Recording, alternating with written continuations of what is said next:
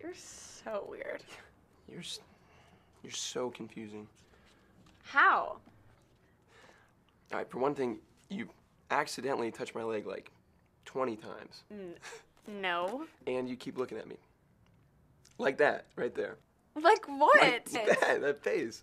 And you're blushing. You're blushing. Okay, You're- no, It's uh, okay. pretty obvious. It's obvious that we've been studying for too long because you're getting all weird. So we need some sustenance. There's no way. We've been planning this for a year. A year, man. I, I, I don't want to be here anymore.